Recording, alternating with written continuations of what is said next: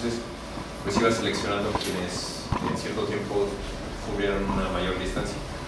Y entonces empezaron a aparecer patrones de locomoción, eh, pues no sé, más o menos como serpiente reptante, cosas así, pero una versión, eh, no recuerdo si no le programó bien la inercia o la presión o algo así. El chiste es que evolucionaron unas criaturas que se impulsaban pegándose a sí mismas, porque se pegaban y se empujaban. Entonces, pues, uno también puede explorar, eh, digamos, qué, es lo que pasa en mundos alternativos. ¿no? Uno se pone a jugar con las leyes de la física y.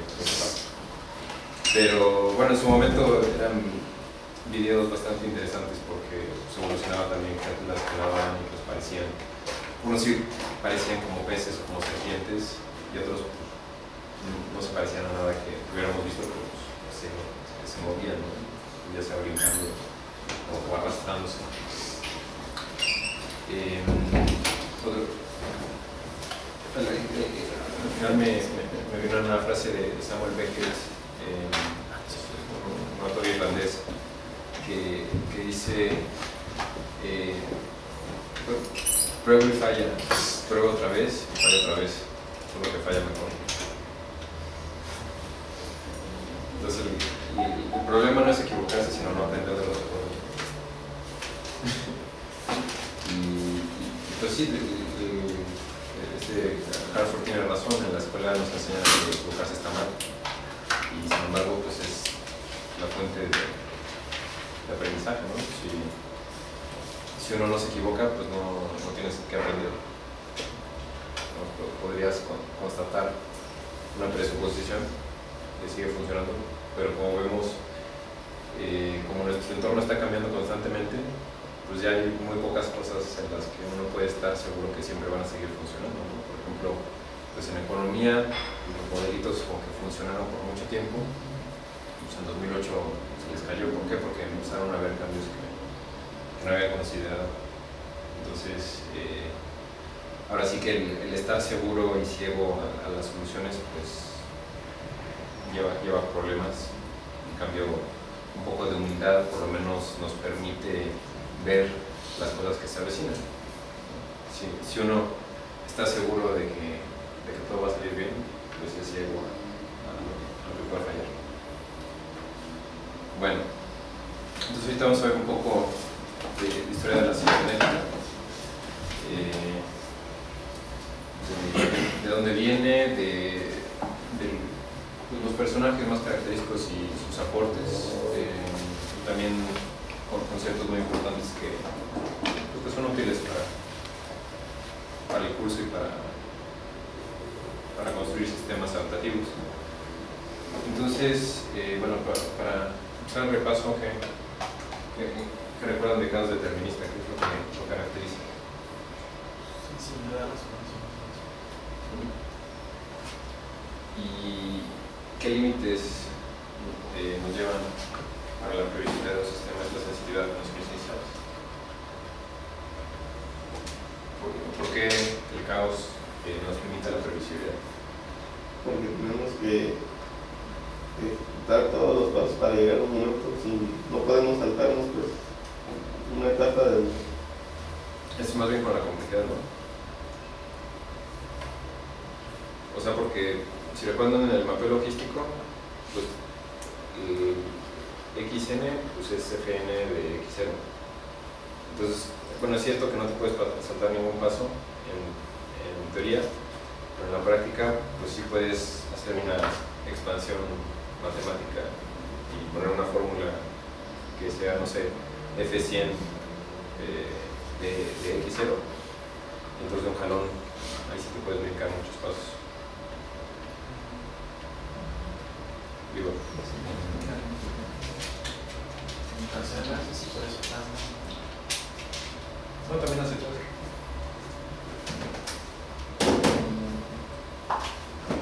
Porque, digamos, sí, X0 es igual a eso de X0, ¿no? Entonces, esto es igual a A, X por es igual 1 menos X. Entonces,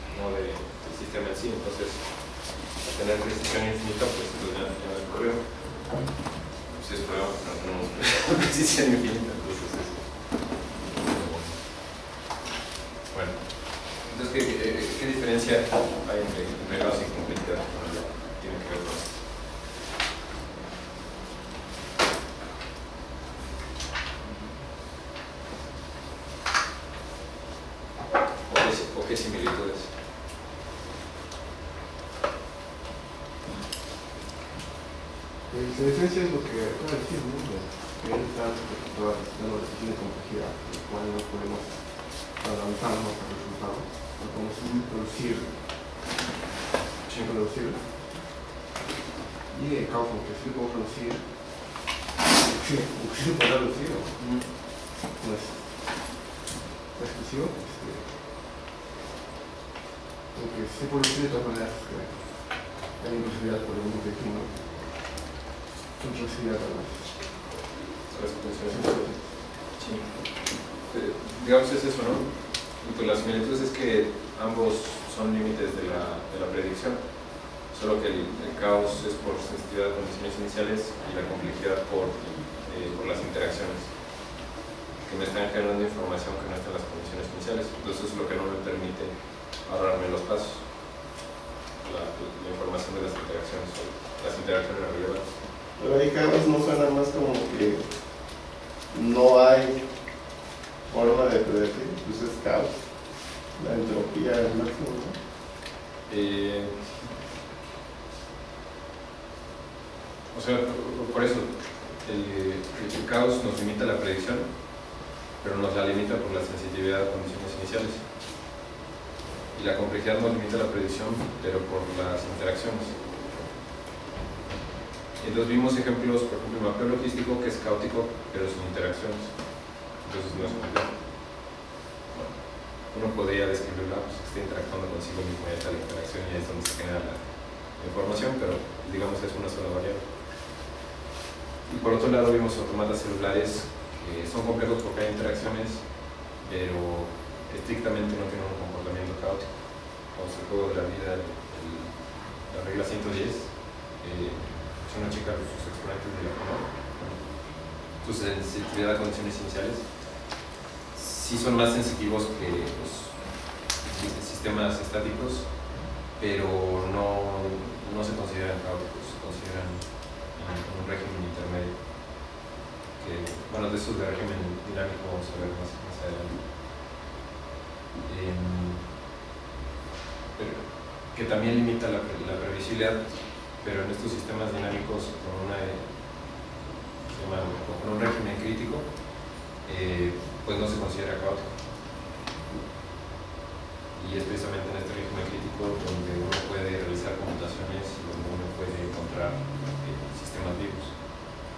Porque si tienes puro caos, pues pierdes toda la información que puedes ir acumulando por, evolución. Y si tienes eh, un régimen ordenado, pues no puedes explorar nuevas soluciones. Tienes una, eh, una robustez muy elevada, eh, resistes perturbaciones, pero no puedes encontrar nuevas soluciones, no te puedes adaptar. En el régimen crítico tienes un balance de los dos, donde puedes adaptar, pero también puedes mantener las soluciones que ya encontraste. Bueno. Eh, no sé, ¿alguna, ¿alguna duda sobre, sobre estos conceptos? Bueno. Entonces, los, los orígenes del concepto de cibernética, pues etimológicamente viene del griego kibernetes, que, quiere decir timonero. Eh, entonces, bueno, este, este Wiener utilizó este- esta palabra griega eh, para describir con- control eh, tanto en, máquinas como en animales, en el sentido de que mm, cuando uno va navegando en un barco, bueno, un, ti- un timonero no tiene un control absoluto del barco, porque digamos, la, corriente, la, marea, las olas van empujando el barco. Entonces el timonero nada más va guiando el, barco de cierta manera, pero los elementos, digamos, el medio ambiente del barco también va guiando la nave. Entonces el timonero no tiene un control absoluto sobre la trayectoria, pero puede ir guiando, eh, ahora sí que explotando las trayectorias de- del medio ambiente, ¿no? ya sea pues, también en un pues digamos, puede, ir un velero en contra del viento, pero pues no es, eh, no es así estos casos. Eh, después, en- en francés, el concepto de cybernétique eh, ya lo manejaba Stamper eh, como el, arte de gobernar y pues era más bien aplicado a, a burocracias por ahí del siglo XIX. Eh, Platón en la República pues hablaba mucho del autogobierno, digamos de las ciudades-estado que se, que a sí mismas. Entonces, digamos, obviamente no, no, utilizar el concepto de autoorganización, pero es más o menos eh, la misma idea de, que un sistema por sí mismo puede tomar sus propias decisiones. Eh, la cantidad de Ctesibios eh, es un, reloj de agua que digamos, ya manejaba ciertos conceptos que, explotaron en, cibernética. Eh, también eh, era un creo que era su alumno, y en China Suzong, eh, creo que construyó unos sistemas de riego que pues también uno podría verlos como que tenían sensores y actuadores, en el sentido de que pues, tienen niveles de, agua, cuando llegan a cierto nivel entonces hay cierto eh, cambio en el, en el comportamiento para, regular el, el riego. Y, bueno, cuando llegó la revolución industrial, pues se, desarrollaron muchos conceptos de, de retroalimentación. Eh, eh, digamos, eh, con este James Watt, para la máquina de vapor, pues uno tiene que manejar la retroalimentación, ¿no? porque pues uno le echa calor, pero pues después el calor mueve el pistón y después hay que bajar el pistón y entonces eh, pues, es lo que va a generar el movimiento. Eh, este Wallace que fue, Wallace que fue contemporáneo de Darwin, eh, de hecho este Darwin escribió la carrera El origen de las especies cuando Wallace envió una carta a Darwin. Ah, señor Darwin, tengo esta teoría de evolución, ¿qué le parece? Y dijo, "Ay, ya me. Entonces ya la publicó. Eh, y, bueno, ya en, biología, digamos, ya si uno lee con lupa a Wallace y a muchas ideas complementarias que Darwin no había comunicado con Wallace. Eh, en, en la física Maxwell también deja conceptos de retroalimentación, de electricidad y en, en ecología eh, este Jacob convexo que bueno ahorita está en él vivió en lo que ahora es Estonia pero en estos tiempos que no recuerdo si era Rusia o llegó no sé estaba cerca de la frontera entre Rusia y, y el Imperio Ruso y el chiste es que eh, Wexel, que era un etólogo con la ecología, es el estudio del comportamiento animal, eh, desarrolló el, el concepto de Umwelt. Eh, bueno, esto es en alemán. Entonces tal vez era Prusia, ¿no? Se está hablando alemán no ruso. Eh, que, que, que dice es, es más o menos el, el- el- el mundo, ¿no? Puede que es mundo. Sí. Alrededor. Ah, ok. Esto es como el entorno, ¿no? Sí. Bueno, el, concepto explicado, porque digamos, él lo, lo en una palabra, pero es básicamente lo que perciben distintos animales. Entonces él dice, bueno, pues nosotros tenemos nuestro Umwelt con nuestros colorcitos y demás, pero otros animales tienen Umwelts distintos, dependiendo de lo que perciben. Entonces, por ejemplo, pues una abeja no, no percibe lo mismo que nosotros, una rana no percibe lo mismo que nosotros, eh, no sé, un- una almeja, un colibrí. Ca- Cada animal pues tiene un número distinto. Entonces se trataba de imaginar, dependiendo de, qué sensores tenían, eh, cómo, cómo podrían ser eh, estos números. Digamos ya más adelante pues este concepto se ha usado también en robótica. Eh, en robótica reactiva. Entonces, no sé, por, por ejemplo en los 40 hay hay un artículo que se llama que, es lo que el, el ojo de la rana le dice al cerebro de la rana. Y, y fue de, de Maculo, Pitts, Maturana y, y alguien más. Básicamente hicieron unos experimentos con, con ranitas que las ponían en una pecera con moscas pero las moscas estaban muertas y las ranas se morían de hambre. Entonces decían, ¿qué, qué no ves? Ahí está la mosca ¿por qué no las hueles? no. Eh, no las percibían y se morían. Eh, por otro lado, agarraban unos balines, los amarraban con una cuerda y los empezaban a, a mecer y ¿qué no te das cuenta que no es una mosca? Y digamos, para el cerebro de la rana, para su entorno, para su eh, un mecanismo que era lo suficientemente exitoso, pues era simplemente reacciona a manchitas negras en tu campo visual que tengan cierto movimiento. ¿Por qué? Porque en los estanques pues, eh, esa categorización siempre concuerda con moscas que, están, volando. No les sirve mucho aprender a reconocer moscas muertas porque no duran mucho ¿no? Eh, y además pues, supongo que ya no sabrán tan ricas. Y, como no hay eh, la mayoría de los estanques eh, científicos con balines intentando a las ranas, pues no necesitaron evolucionar un mecanismo para hacer esa distinción. Entonces no es que el cerebro de la rana se equivoque, sí se está equivocando porque por un lado se muere de hambre y por otro lado se está comiendo metal. Pero es que le está sacando de su le está sacando de su contexto. Entonces, pues obviamente no, no va a poder tomar las mismas, bueno, la, decisión adecuada le está sacando de, su entorno donde, donde evolucionó mecanismo. Y digamos, también si somos humildes, después de la, de que, acabamos de ver de, de Harford, eh, pues podemos asumir que lo mismo sucede con nosotros. ¿no? Muchas veces evolucionamos en ciertos contextos y desarrollamos circuitos cerebrales y creemos, ah, pues es que esa es una mosca, y no es una mosca. Eh, bueno, en el siglo XX, eh, pues digamos, con el desarrollo de, de electricidad y electrónica, pues se desarrolló mucho teoría de control, eh, también en mecánica, hubo muchos desarrollos en lógica, en neurociencia, en teoría de la evolución, que todos estos eh, fueron aportando conceptos al desarrollo de la cibernética que se empezó a dar eh, después de la Segunda Guerra Mundial.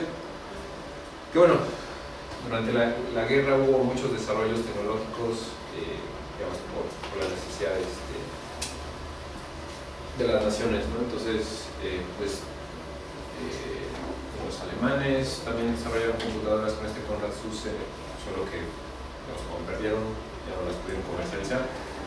Eh, digamos, en, Inglaterra, en, Estados Unidos, pues las primeras computadoras que se construyeron eran precisamente para la guerra. También tecnología de tele- telecomunicación pues era para el ejército de Estados Unidos, eh, lo mismo en la Unión Soviética. Eh, por otro lado, el- los Bell Labs, que bueno, Bell es de Alexander, Alexander Graham Bell, Eh, entonces, digamos, el inventor del teléfono, digamos, hizo su, su compañía y ahora, ahorita se AT&T, ¿no?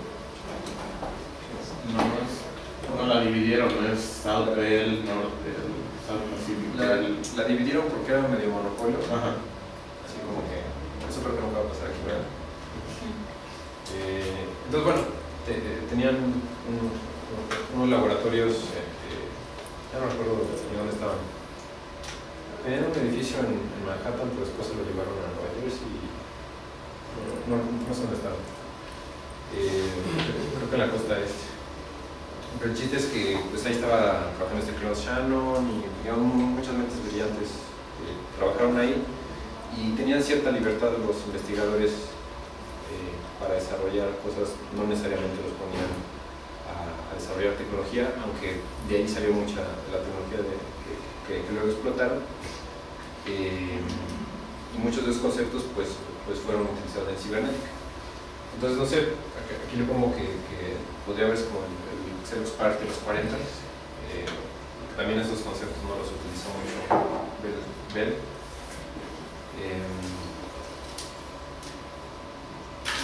No se conozcan este- estas historias de- del Xerox Park de los 60 eh, bueno, Xerox se conoce como una compañía de copiadoras, ¿no? principalmente. Eh, pero en Palo Alto tenía, creo que tenía porque, creo que ya lo compró HP, no estoy seguro.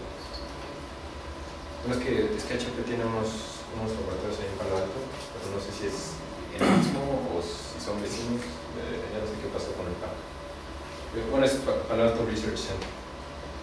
Eh, el chiste es que, digamos, era una compañía muy exitosa ya en, los 50, 60 con las fotocopiadoras, ¿no? Imagínense, ya no había que copiar eh, con estos.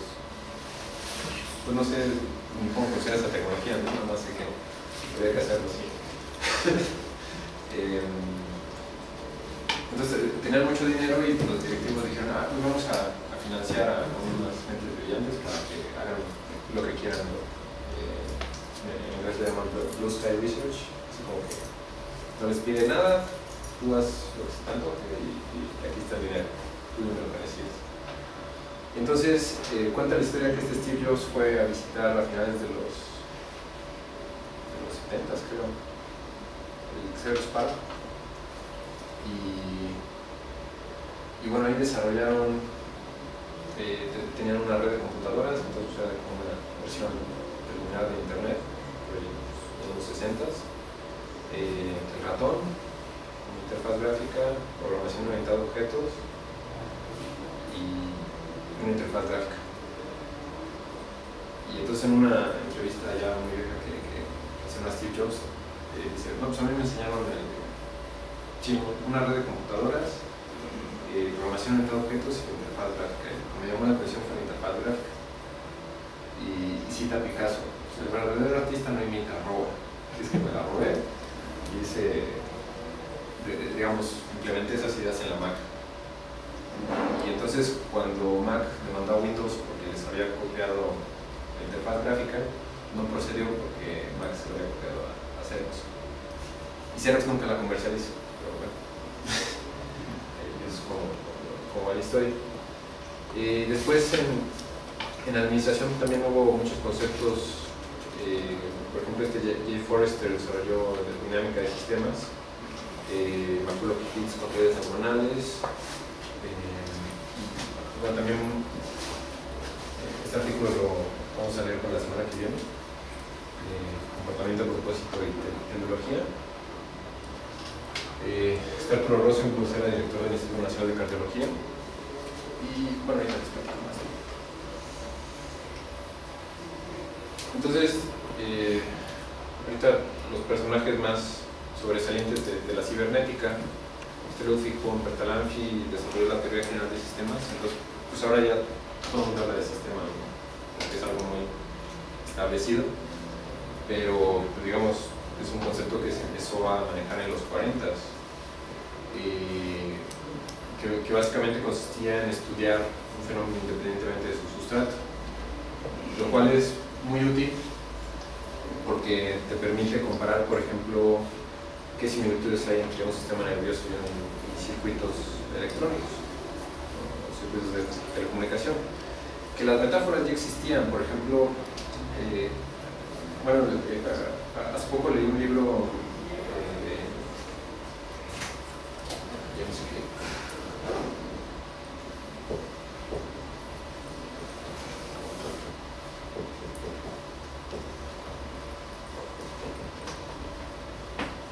Eh, podría ser, si a alguien le interesa, para, para, para reseñar.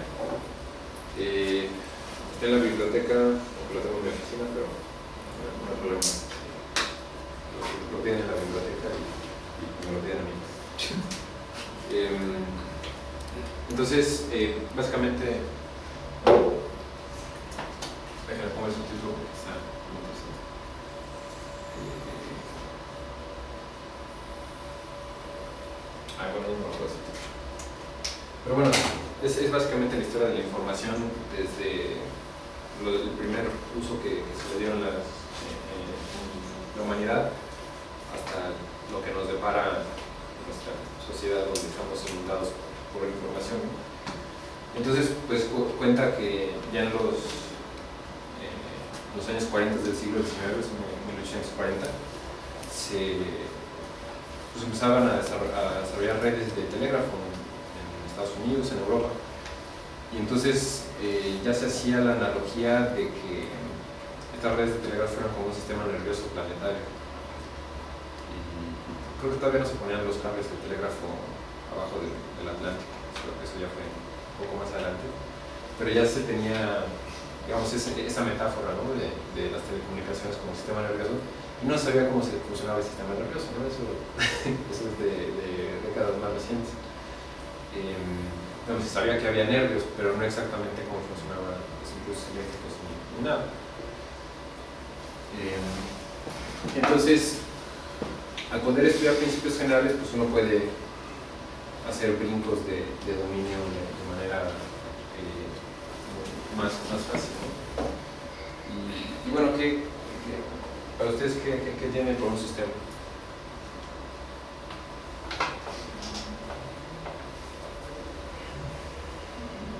No hay- no hay ingenieros en sistemas nerviosos.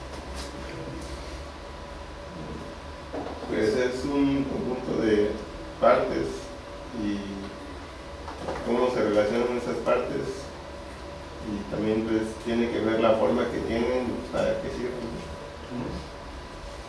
Sí, o sea, Un conjunto de objetos y sus interacciones. Sí. Sí, en su vi- visión más general, lo, pues, un, un conjunto de, de elementos. Y ya luego, si le quieren poner más, más salsa a sus tacos, pues es decir, no, pues que tienen que estar ordenados con un propósito en común, no sé qué, pero, pero pues también hay sistemas desordenados. ¿no? Em, entonces, pues es, eh, eh, nos proporciona un lenguaje muy general que se puede aplicar en distintas di- disciplinas. ¿no? Uno puede hablar de sistemas químicos, biológicos, físicos, económicos, sociales. Entonces, al tener un lenguaje en común para distintos dominios, pues entonces uno puede, eh, pu- puede haber comunicación entre disciplinas. Porque si un físico le habla a un biólogo de energía, como no, quieren decir lo mismo. Y cuando hablan de sistemas, pues es un puente entre disciplinas. Que no quiere decir que se entienda, ¿no? Por lo menos es, es, es un intento. Entonces, la, la palabra cibernética en su uso moderno la usó por primera vez este Robert Wiener, que bueno, era un, matemático en, MIT. Eh, al parecer niño prodigio, su, su papá era maestro de matemáticas y parece que experimentaba con, con su hijo. Entonces, entonces, pues es de estos chicos que se doctoró cuando todavía adolescente. Eh, y bueno, este, este libro está muy interesante y se lo dedica a Claude Rosenbluth, que, que decía que era, fue, director de- del Instituto Nacional de Cardiología y también fue el fundador del CINDESTAR. Eh, y se lo dedicó a Rosenbluth porque venía, bueno, Rosenbluth iba a, MIT y Wiener venía a cardiología a trabajar, ya, digamos, eran co- colaboradores cercanos. Me contaron personas que los conocieron que, que muchas de esas ideas eh, fueron desarrolladas en, en los bares a los que asistían. Ya si fue en Tlalpan o en Cambridge, no lo sé. Podemos, eh, podemos hacer un estudio sobre la calidad de, de los bares y antros en la Ciudad de México, en Boston, pero eh, Una correlación. Sí, pero bueno, eh, se organizaron también unas las conferencias Macy que juntaban, eh, digamos, a, todos estos personajes de distintas disciplinas para discutir temas que al parecer no tenían nada en común. Y cuando juntabas pues matemáticos, físicos, ingenieros, médicos, psicólogos, resultaba que sí tenían muchas cosas en común. Entonces, bueno, aquí el subtítulo es interesante, es con- control y comunicación en, en el animal y en la, en la máquina. Entonces aquí ya nos dice que pues, esta teoría aplica tanto a animales como a máquinas. Y, y bueno, ahorita, ahorita regreso con una cuestión de. Eh, este Ashby era psicólogo, era director de un hospital psiquiátrico en el Reino Unido. Eh, y, fue muy, muy prolífico, tiene, tiene por ahí un, par de libros muy interesantes sobre diseño para un cerebro y también introducción a la cibernética. Eh, él fue el que, el introdujo el concepto de autoorganización, también la ley de la variedad requerida que tiene su nombre, que ahorita más adelante vamos a ver qué, es lo que plantea.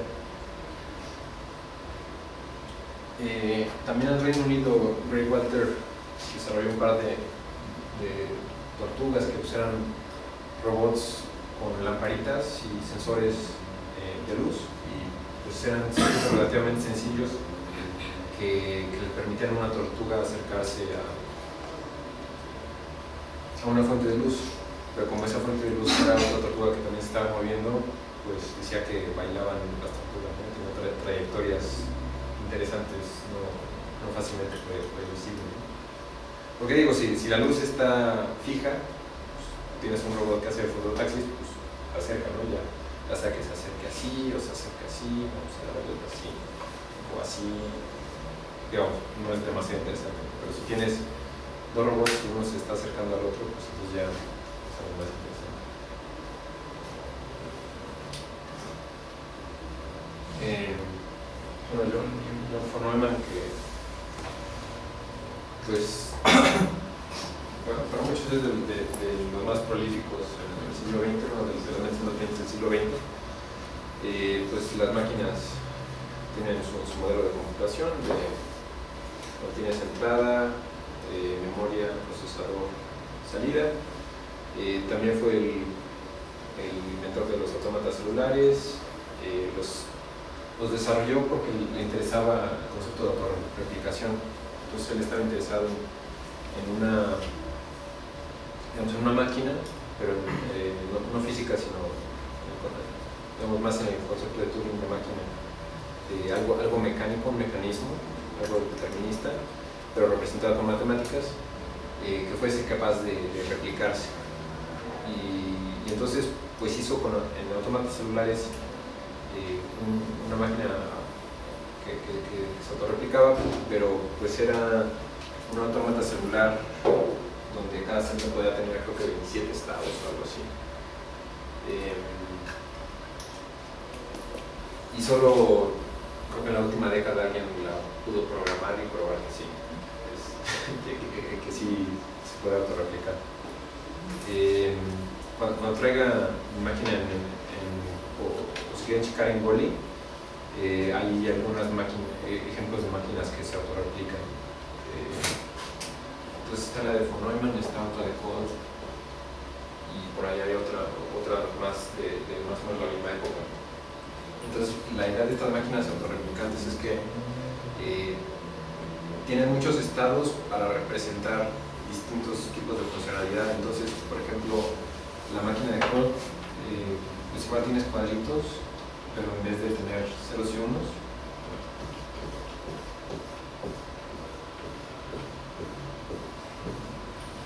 eh, se ti- tienes por ejemplo como cables, entonces pues este no sé, es por ejemplo el estado 8, que son las entradas del cable.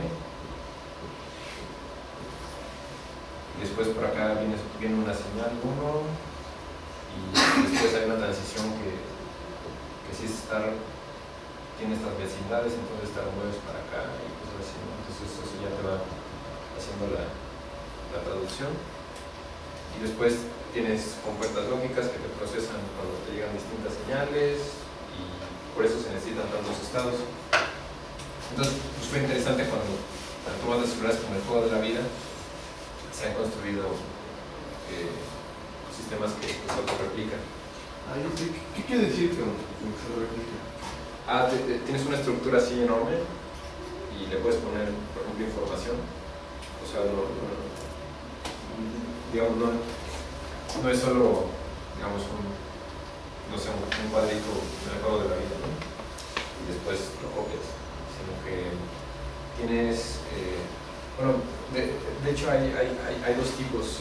Eh, hay, hay máquinas que son autorreplicables, que es básicamente que, construyen copias de sí mismo un, un ejemplo muy reducido es el, el bucle de Dalton, que ese tiene creo que como 7, 8 estados y es básicamente empiezas con un cuadrito y se empieza a reproducir, después hace así. Después cuando, cuando regresa aquí empieza a, soltar un hijito y después se, corta. Después empieza a crecer. Después este se corta así.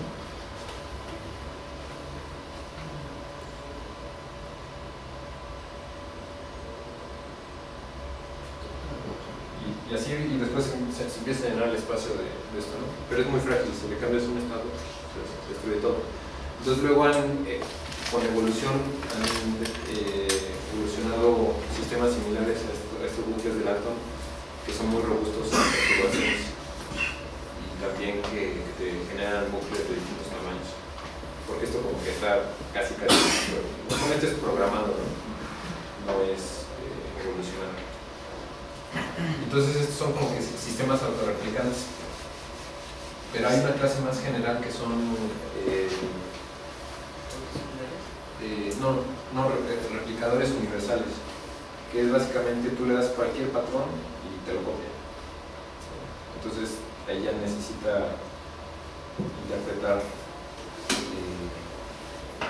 más información, ¿no? Entonces, bueno, si imagínate que, que tienes una estructura así, pero digamos, será como de unas millones de células y por aquí con unos mecanismos y luego por acá tienes una memoria y es arbitrario lo que tú le metes a esa memoria y después le pones a ver, replícate y te replica esto con la memoria también.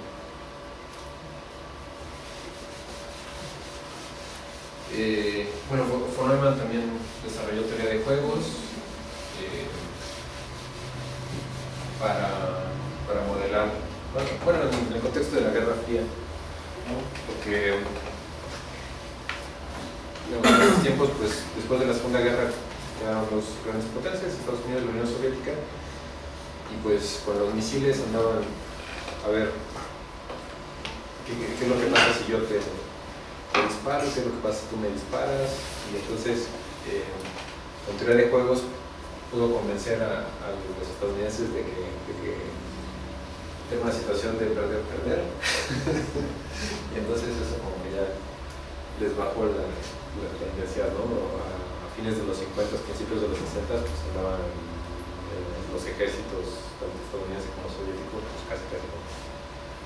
pues ya vamos a, a darnos y Sí, di- digamos, pues en la crisis de los misiles de Cuba, eh, pues to- todavía uno, uno de mis asesores en, en Bruselas. Se hizo su doctorado en, en Génova, en CERN, en Suiza, y decía que tenía su, su búnker personal, todos tenían búnker, así su, su refugio nuclear, que pues eran cosas del del de hecho, en, el, metro en Rusia, todas las estaciones tienen refugio, refugios nucleares. Entonces, bueno, como, están bien profundos, de de los metros más profundos del mundo, eh, pues en las estaciones hay como que puertas grandotas de metal, que en caso de llegar a nuclear, pues se cierran. La gente que está abajo, que están así los andenes, las vías, después hay puertas, ¿no? Y dicen que hay ciudades enteras atrás de puertas, con reservas para no sé cuántos meses. y no sé qué. Se quitan ya no más que con tanto vendedor. También dicen que en Corea del Norte Ah. las montañas tienen sistemas de túneles. Sí, Sí, sí. Sí. Eh, y, y bueno, también hizo aportes a mecánica cuántica y hablando de, de guerra nuclear también a, participó en el proyecto Manhattan. Entonces, bueno, muy prolífico este Foreman. Este Bruce Shannon estuvo trabajando un tiempo en, en Bell Labs y pues desarrolló eh, la teoría de la información que lleva su nombre, que, que básicamente mide ca- cadenas de bits. Él, la, la desarrolló en contexto de telecomunicaciones. Él le interesaba ver qué tan confiable es una comunicación transmitida en un medio que no es confiable. Entonces, pues también estudió muchas cosas de redundancia para, para que un mensaje fuera, eh, sin errores, cuestiones de criptografía. Al, al mismo tiempo que Turing estaba descifrando las máquinas enigma de, de los nazis, Shannon estaba trabajando en encriptar las comunicaciones entre Estados Unidos y el Reino Unido. Entonces, digamos, y, los dos estaban en Bell Labs, solo que los dos estaban trabajando en, top secret, en, cuestiones eh, ultrasecretas, entonces aunque se veían a la hora del café, no podían hablar de que estaban hablando, estaban hablando de cosas, estaban trabajando en cosas complementarias. Eh, y ahora, otro detalle es que este Wiener propuso otra medida de información que era muy parecida, pero sin el menos. Y entonces, pues eso cau- causó mucho conflicto entre ellos, porque Wiener tenía un, ego enorme. Y, entonces, digamos, como que nunca pudieron reconciliar sus, sus visiones sobre qué, es la, información. Porque para Shannon, eh, bueno, ta- también este es, eh, la misma medida que se usa en de, de termodinámica para, medir la entropía de un gas, pero la entropía es, es así, ¿verdad? Es, positiva la entropía. ¿no? No siento. Bueno, yo no me acuerdo, pero sí, me acuerdo que la, de Wiener era positiva. Porque la información de Shannon lo que nos dice es no tanto la información que tenemos, sino qué, qué es lo que nos va a dar información nueva. Entonces, eh, si graficamos eh, es- esa ecuación en base 2, nos da eh, S, y esta sería la información. Bueno, eh, para cadenas binarias normalmente el logaritmo se maneja en base 2. Entonces, esta es la probabilidad de que no la información que ya, yo ya tengo, sino la información que voy a recibir, reciba un 0 o un 1. Eh, bueno, esta, esta es la forma de, de esa función gráfica. Entonces, cuando yo tengo información mínima, cuando yo sé que tengo una probabilidad eh, absoluta de que, de que el siguiente símbolo sea 1 o 0. Entonces, por ejemplo, si tengo una cadena de puros unos y aplico esa ecuación acá, lo que me dice es que es- tengo una certeza casi absoluta de que el siguiente símbolo va a ser 1. Entonces, eh, este bit no me da información nueva, entonces por eso es 0. O si yo tengo puros ceros, ¿y qué, qué bit se esperaría acá? Cero. Entonces, este 0 no me da información nueva. Digamos, aquí yo ya tengo toda la información.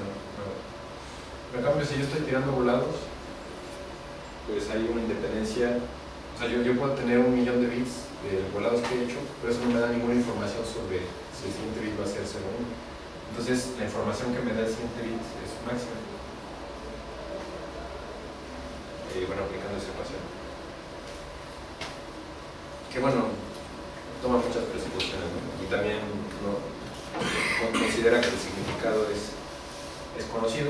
Sin embargo, es bastante útil y hay refinamientos de esa media información que veremos más adelante.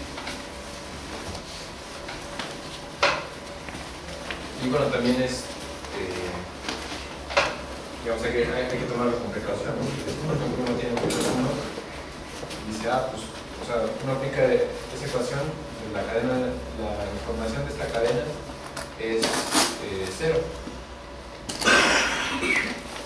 Sin embargo, si resulta que el siguiente bit no, era 1, sino es 0, entonces este bit sí me da mucha información. Sin embargo, si ahora yo calculo esta información como está definida por la probabilidad, eh, de todos modos es muy poca la información, porque con esta historia, la probabilidad de que el siguiente bit sea 0 sigue siendo muy baja. Y básicamente la información es máxima cuando el número de unos y ceros es, es igual. Sin embargo, pues esta media información no, no se fija en el orden. Entonces, pues yo voy a tener, si tengo el mismo número de ceros unos, voy a tener la misma media información. Si tengo, por ejemplo, en orden la mitad de unos y luego la mitad de ceros, o 1, 0, 1, 0, 1, 0, 1, 0, o si el ordenamiento es aleatorio. Es que es la misma información.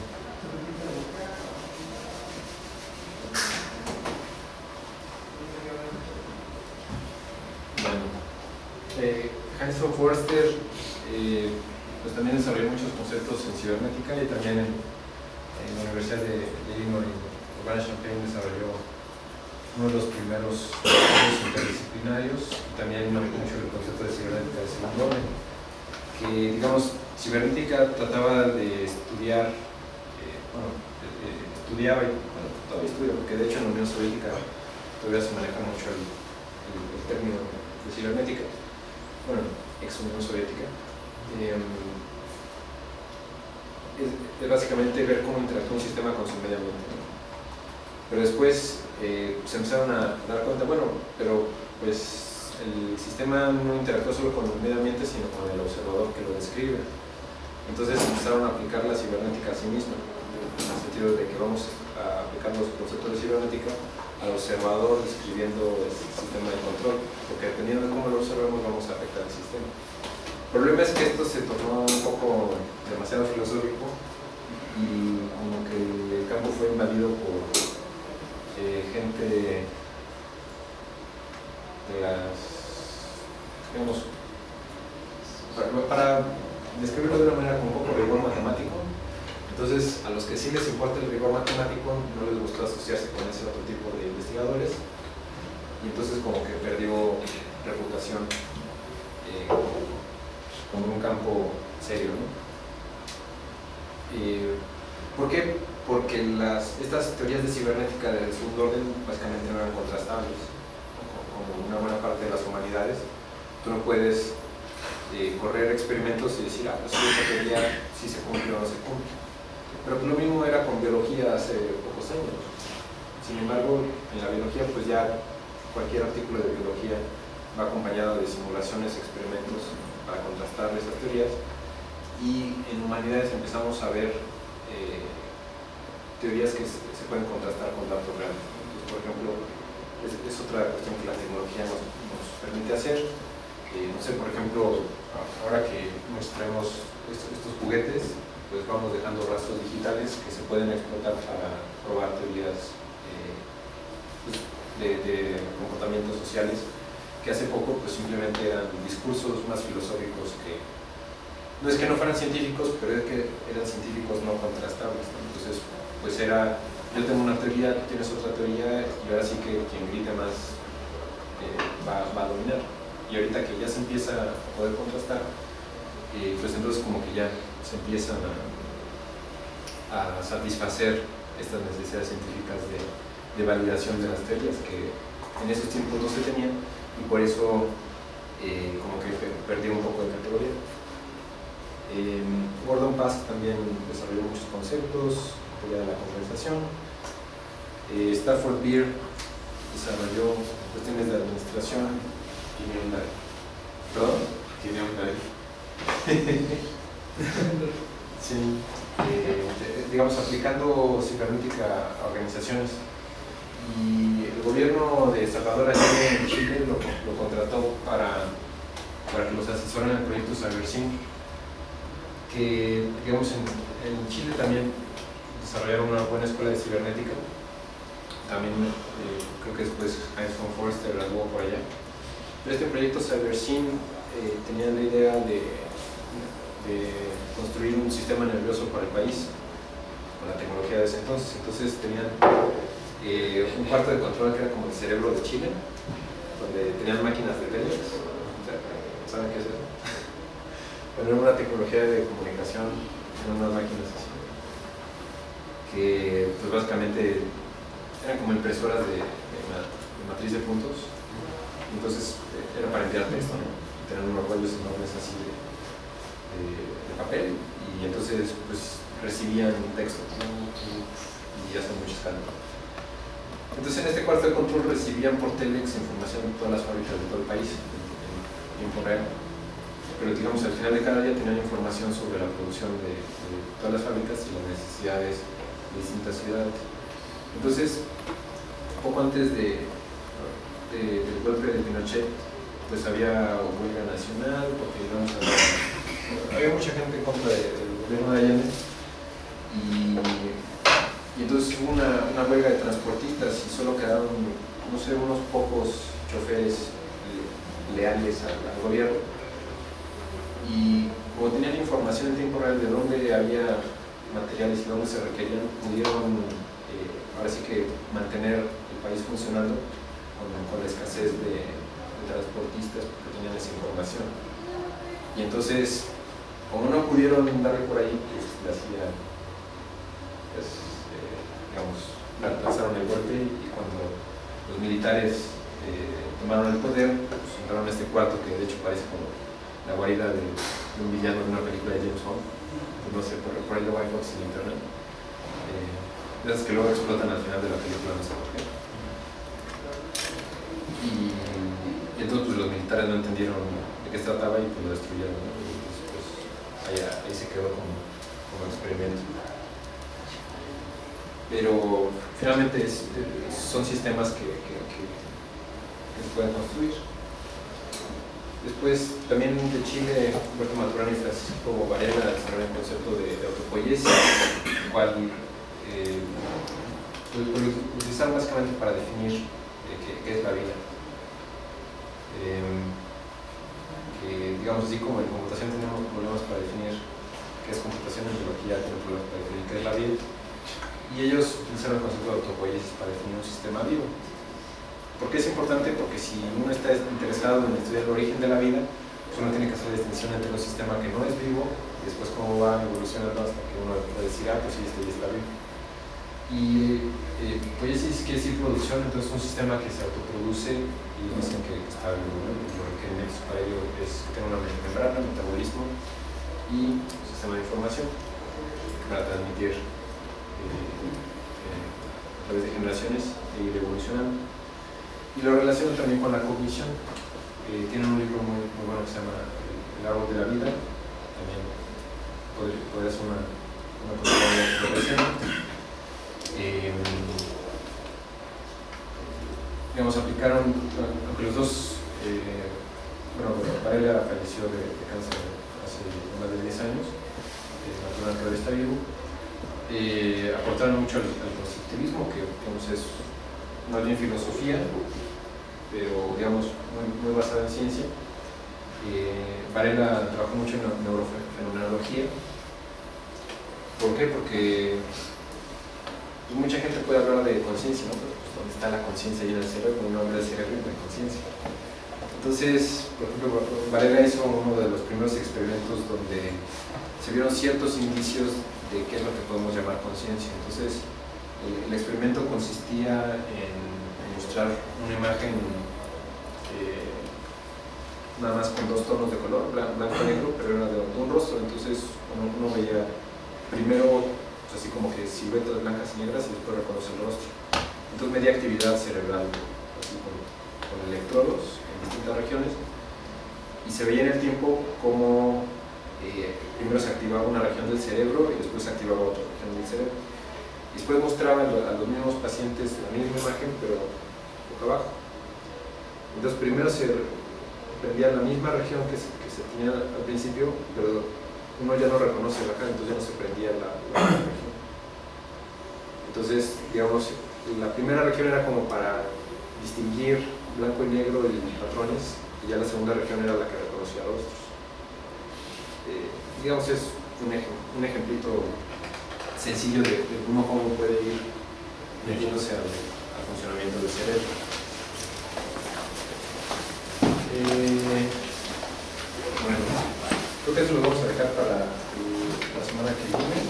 Son conceptos de complejidad.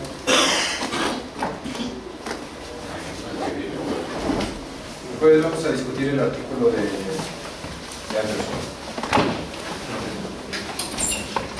Pero, bueno, los que puedan esperen tantito. Eh, ya para concluir, no quiero decir que la cibernética no nos decir, bueno, ¿qué, le pasó? no? Como les mencionaba, eh, algunos científicos de credibilidad cuestionable como que se, se acapararon de- del nombre y pues otros eh, se alejaron de él, pero todavía hay revistas de cibernética, eh, hay conferencias de cibernética, eh, digamos, la cibernética de segundo orden conceptualmente es interesante, pero pues no, no ha aportado avances prácticos. Eh, sin embargo, pues los conceptos que se han desarrollado en cibernética se han filtrado a todas las áreas del conocimiento.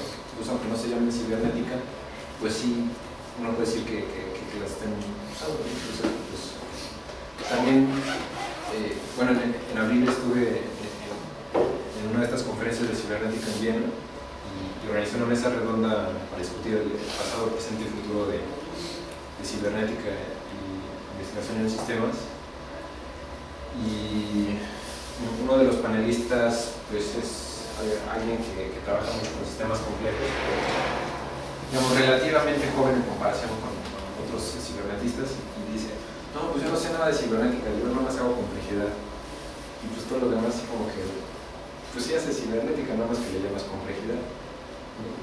Porque, digamos, los conceptos y los propósitos son muy similares que en sistemas complejos uno también estudia los fenómenos independientemente de su sustrato y también uno estudia cómo se relaciona con su medio ambiente y demás. Entonces, pues, a final de cuentas, para propósitos prácticos, pues, uno puede decir que se cambió de nombre y, y- si después, digamos, es como la biología de sistemas no se llama biología compleja, se llama biología de sistemas. Y muy probablemente en algunas décadas no se llame biología de sistemas, simplemente la biología utilice estos conceptos de manera natural. Eh, entonces, bueno, ya para concluir, la cibernética ve a fenómenos inde- independientes de su sustrato, es eh, pues, de las primeras ciencias interdisciplinarias y pues ha dejado huella en todas las áreas de conocimiento, no que es antecesora de, la, complejidad, pero eh, hay, que tener cuidado porque luego hay gente que, que, que- que le hace feo. Entonces, para el jueves, eh, lean y resumen eh, este, este artículo que, discute eh, cuestiones de, de complejidad y de reduccionismo. Bueno, ¿Tenemos impresos en la página.